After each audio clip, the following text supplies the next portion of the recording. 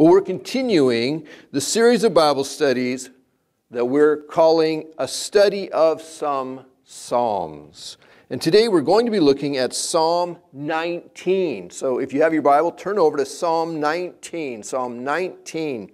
C.S. Lewis said about this psalm I take this to be the greatest poem in the Psalter and one of the greatest lyrics in the world.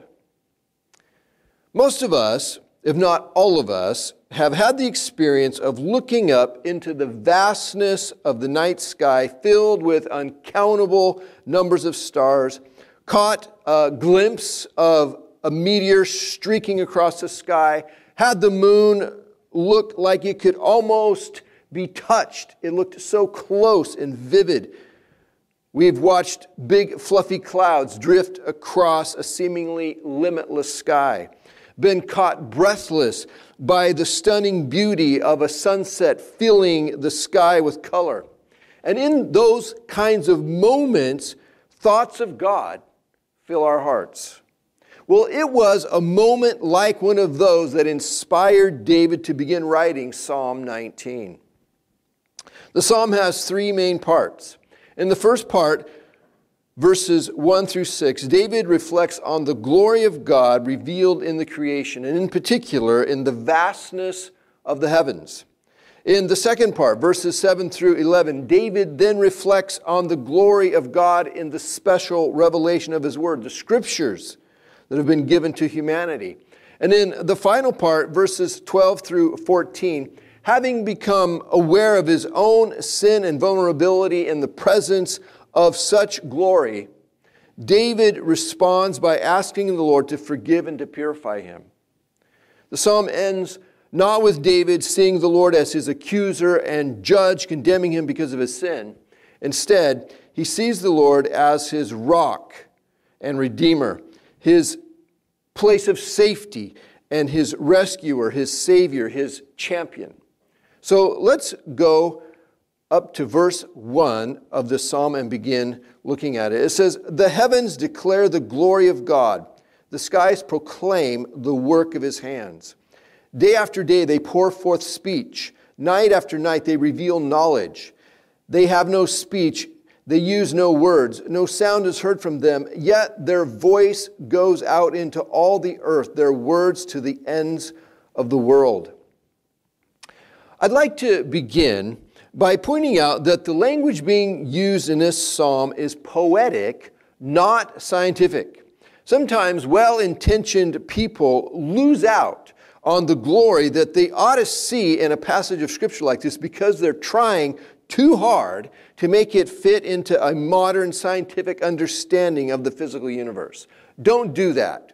David didn't write this psalm to teach science. David wrote this psalm to show how the creation reveals the majesty and the power of God. The psalm is intended to provoke worship in the hearts of the readers. So let's begin in verse 1. It says, The heavens declare the glory of God, the skies proclaim the work of his hands. The glory of God is seen in the vastness of space. There is a feeling of infinity when we look up into the sky, whether it's the daytime or the nighttime. Our eyes never reach the end of the heavens, our eyes never reach the end of the skies. We've invented mechanical eyes to help us peer many times further than our natural eyes can look. And yet, even with these powerful telescopes, we have never reached the end of the heavens. The Lord is more vast than all of it. He made the heavens. He exists outside the heavens. The vastness of the heavens, which we have never seen the end of, can't contain the Lord.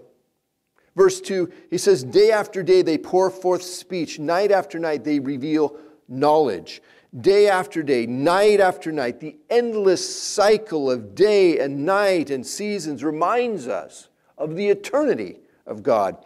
In the first two verses here, we have the vast limitness of space and the apparent endlessness of time proclaimed by the creation. God is bigger than everything, and God has lasted longer than everything.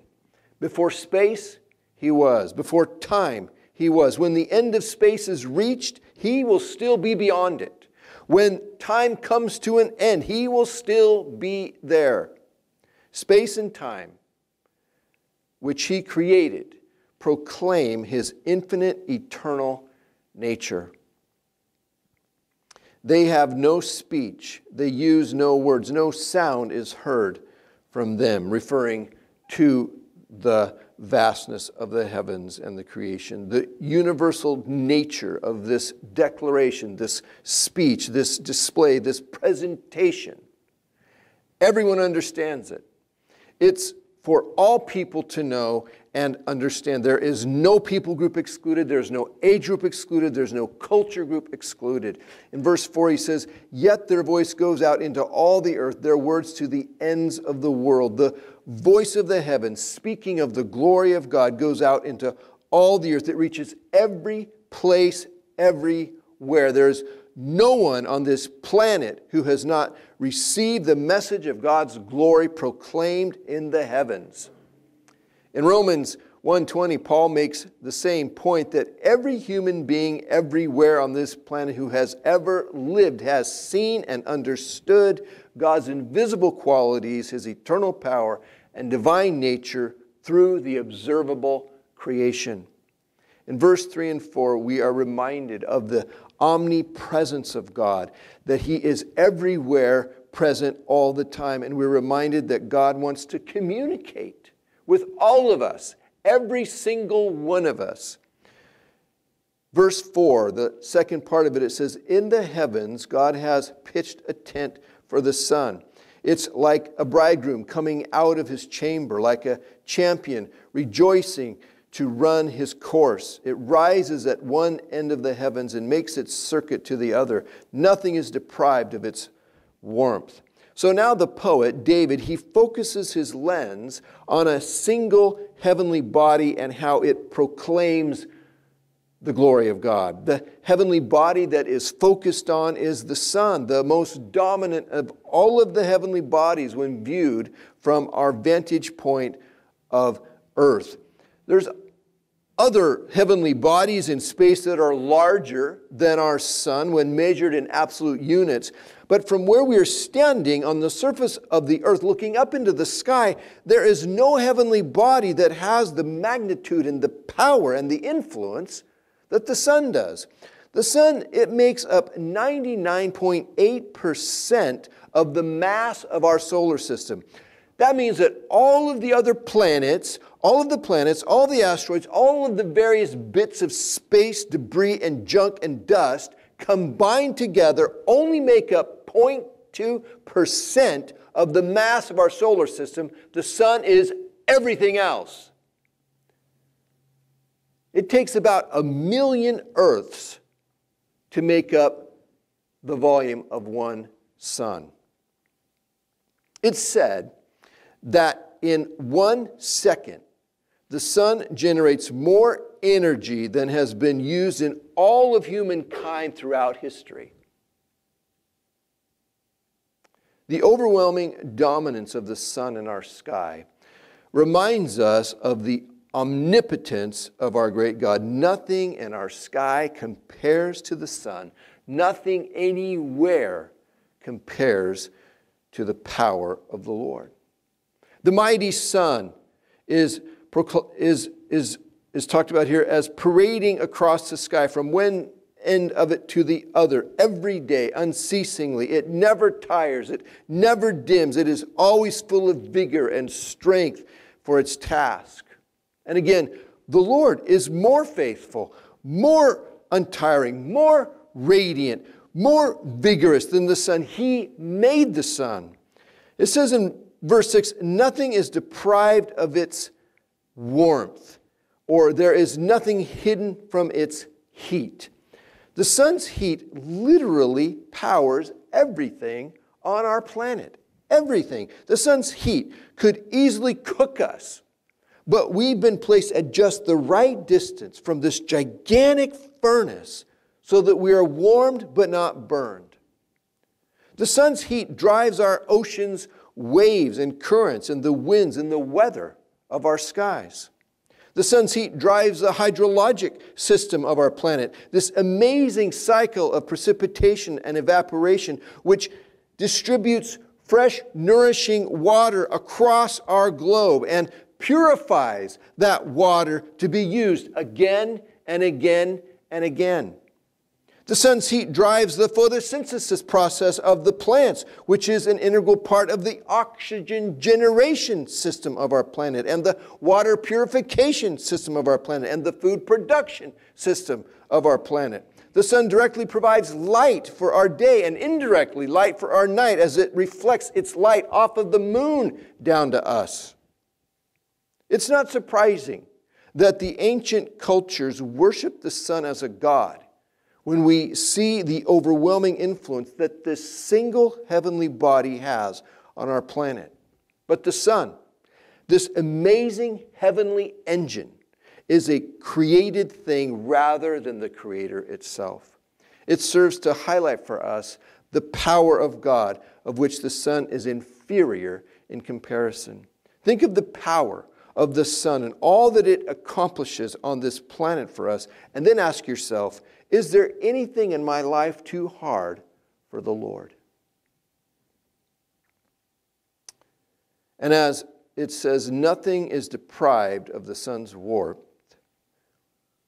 which, with it providing energy and light and life for everything on our planet, so the Word of God provides energy and light and life for all who embrace it and allow it to speak into their life. And this leads us to this second part of the psalm in verse 7.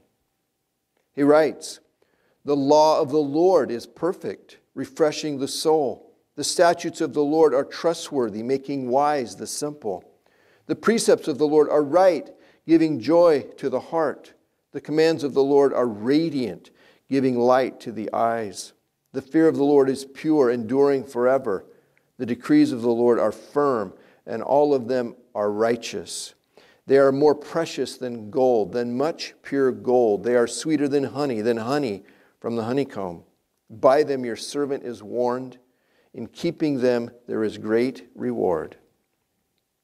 In this second major part of the psalm, David reflects on the glory of God in the special revelation of the scriptures.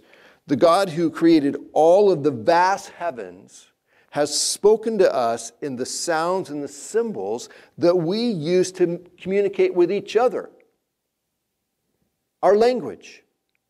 There is a beautiful act of love and a desire for relationship that is inherent in the fact that the scriptures exist. The great God has spoken with us in a personal and direct way. There is a general and universal communication of the creation, but then there is also this personal and direct communication to us in the Word of God. So David uses six different terms here in these verses, verses 7 through 9, to refer to the Word of God. They each highlight a slightly different aspect of the Lord's word given to us. At the same time, these terms can be used interchangeably with each other to refer to the word of God. See, the idea is not to try to decide what is a statute versus a precept versus a command, but to take all of these terms collectively to get a grander view of all that the word of God is. Well, these six terms are law, statutes, precepts, commands, fear, and decrees. Law, or Torah, as the Hebrew says, is a comprehensive term that's used to refer to God's revealed will for us contained in the scriptures.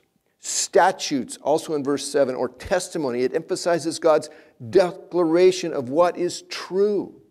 Precepts in verse 8, or instructions, it emphasizes the precision of the directions given by God commands, also in verse 8, emphasizes the authority of God in his word. Fear, verse 9, it's, it's interesting that David uses the word fear as a synonym for the word of God. You might remember that the fear of the Lord means to have this deep respect and reverence for the Lord. So, fear emphasizes the human response of awe and reverence that's produced by God's word.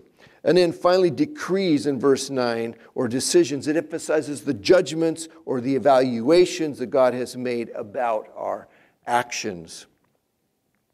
The benefits and blessings of the Word of God are given in these verses 7 through 11. And in the first uh, uh, group of verses 7 through 9, they're, they're given in pairs of an aspect or quality of the Word of God and then a blessing of the Word of God. These pairs, they don't always have obvious connection with each other, nor do I think it's necessary to identify a direct connection between them.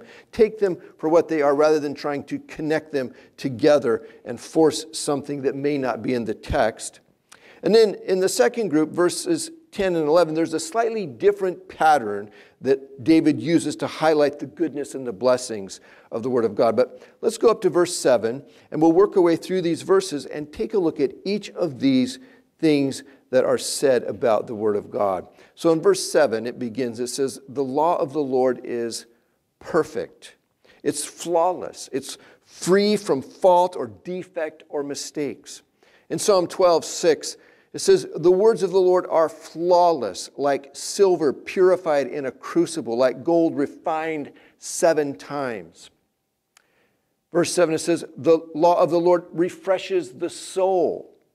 We're reminded in Psalm 23 2, when we looked at it, where it says, The Lord refreshes our soul. The Word of God has this restorative quality, healing and renewing us.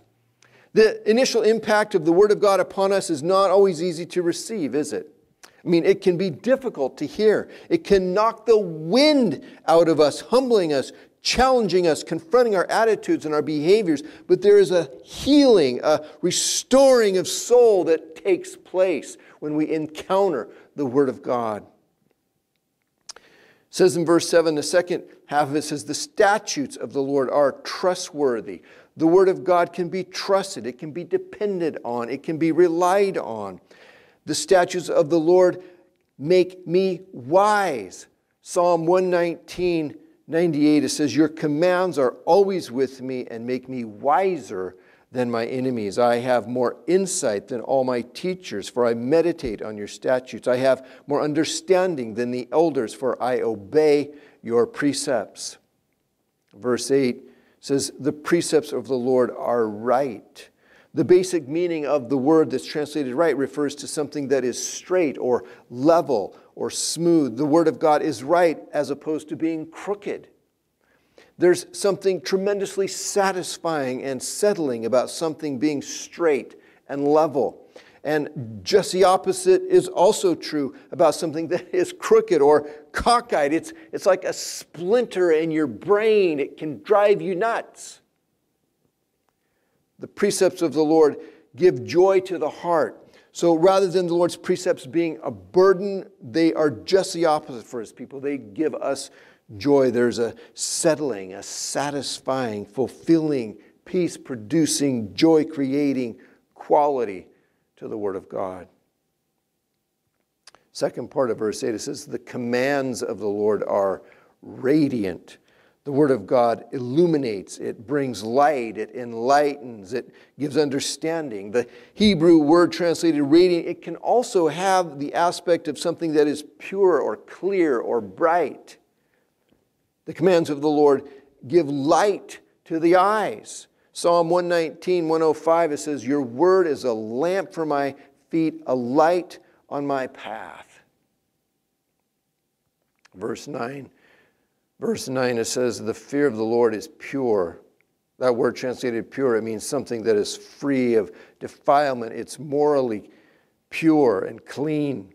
The Word of God is undefiled. It's the purest of pure. It comes directly from the source, capital S, source. The fear of the Lord endures forever. The word of God is eternal. Isaiah 48 says, The grass withers and the flowers fall, but the word of our God endures forever. See, the very nature of our being is temporary. The word of God is just the opposite. In contrast, it endures forever. What is certain in this world? one thing the Word of God. Verse 9 The decrees of the Lord are firm. The Word of God is solid and secure. It's a foundation, a bedrock upon which we can build our life. Do you remember the parable that Jesus told about the wise and foolish builders? In Matthew chapter 7, verse 24, it says, Therefore, everyone who hears these words of mine and puts them into practice is like a wise man who built his house on the rock. The rain came down, the streams rose, the winds blew and beat against that house, yet it did not fall because it had its foundation on the rock.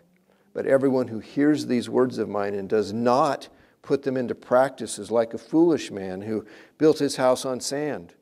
The rain came down and the streams rose and the winds blew and beat against that house, and it fell with a great crash. The Word of God is only a firm foundation for our life if we put it into practice. The person who doesn't follow the Word of God is like a, the foolish man in this parable who built his house on the sand. They will not endure. Verse 9 says, The decrees of the Lord, all of them are righteous. Every single part of the word of God is righteous. 2 Timothy 3:16 says all scripture is God breathed and is useful for teaching, rebuking, correcting and training in righteousness so that the servant of God may be thoroughly equipped for every good work. Then we get to verse 10, which is this second grouping within this um, second part of the psalm where it says, The words of God are more precious than gold, much pure gold. Gold was the most valued commodity in the world at the time that David wrote this psalm. And so, he is saying the Word of God is the most valuable thing in the world. He says the words of God are sweeter than honey, than honey from the honeycomb. The most deliciously sweet tasting thing in the world that David lived in was honey. I don't see honey served straight from the honeycomb here in our country very much.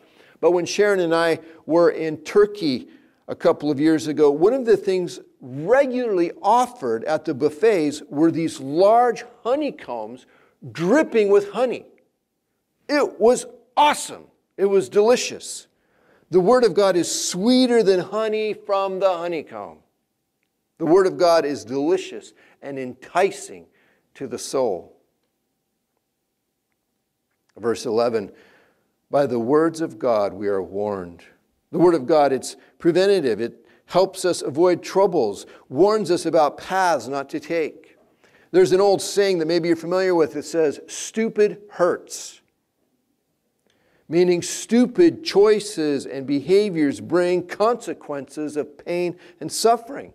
By following the Word of God, we can avoid the pain and the suffering brought on by stupid. Finally, verse 11 closes with In keeping the Word of God, there is great reward, considering all of the blessings and the benefits of the Word of God. Indeed, there is great reward in it. This brings us to the third and final portion of the psalm, beginning in verse 12, where it says, But who can discern their own errors? Forgive my hidden faults. Keep your servant also from willful sins. May they not rule over me. Then I will be blameless, innocent of great transgression. May these words of my mouth and this meditation of my heart be pleasing in your sight, Lord, my rock and my redeemer. So, following this reflection on the creation and the Word of God, the poet David is reminded of his sin and weakness and vulnerability. There is also a beautiful expression of trust in the Lord, though. He is not cringing in a corner here, afraid that this God will break out against him and squish him like a bug. Instead, there is a trust, a, a confidence, a peace in knowing that the Lord knows all. Rather than running from God, David says, I want to be pleasing to you, Lord. And so, verse 12, it says, But who can discern their own errors? Forgive my hidden faults. It's surprising, isn't it, how unaware we can be about our own sins. Sometimes we're not aware that what we have been thinking and doing is even wrong. We suffer from simple ignorance.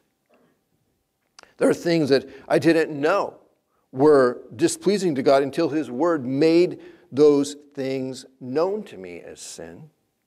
Sometimes, though, we, we know a certain way of thinking or acting is wrong. We recognize it in other people easy enough. But when it comes to ourself, we have a blind spot or we justify it. Human beings are skilled at creating one set of rules for ourselves and another set of rules for everybody else. David, he asked the Lord to forgive him for the sins which are hidden, whether they are sins of ignorance or sins that David is blind to in himself. 13 says, Keep your servant also from willful sins. May they not rule over me. Then I will be blameless, innocent of great transgression. He asked the Lord to keep him from committing willful sins. These are the kinds of sins uh, that we know are wrong, the kinds of things we know are wrong, and, and we choose to do them anyway. May they not rule over me or reign or have dominion or have control over me. What an honest and humble prayer this is by David. He prays that these willful sins will not rule over him, they'll not control him, they'll not have their way with him. These things that he wants to do, even though he knows they're against what God wants him to do, he prays that he will not do those things. This is where the rubber meets the road with obedience to the Word of God, though, isn't it? It's not difficult to obey the Lord when it's something that we have no interest in doing anyway. But it's not so easy to obey the Lord when obedience requires that we deny ourselves something that we really want to do. He says, Then I'll be blameless, innocent of great transgression.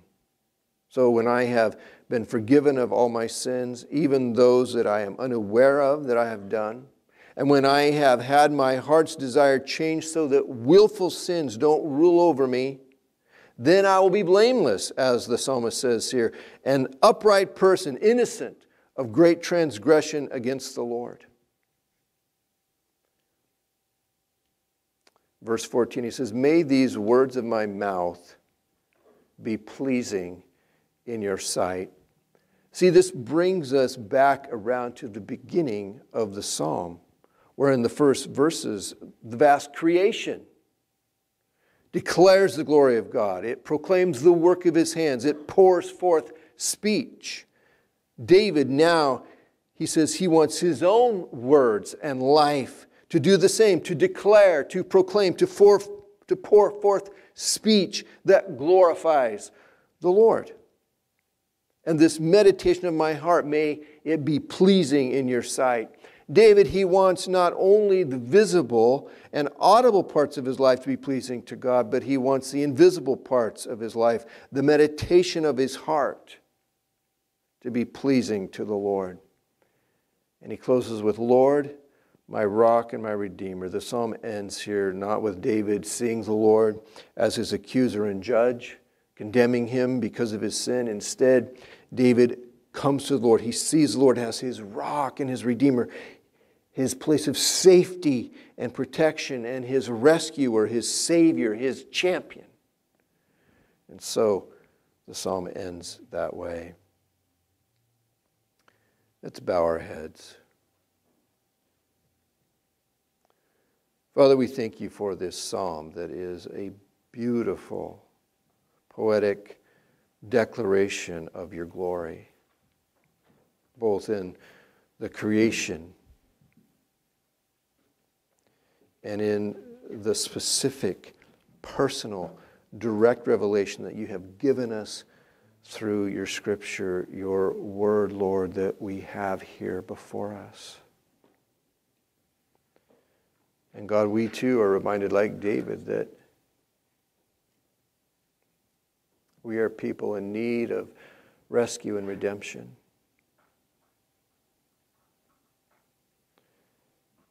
And we cry out to you, our great rescue, our, our great Savior, our great champion. We pray, God, as David did, that we pray that our life and the meditations of our heart, Lord, that our life would proclaim, declare, pour forth speech that glorifies you in the same way the rest of the creation does, Lord. May you be glorified in us. In Jesus' name, amen.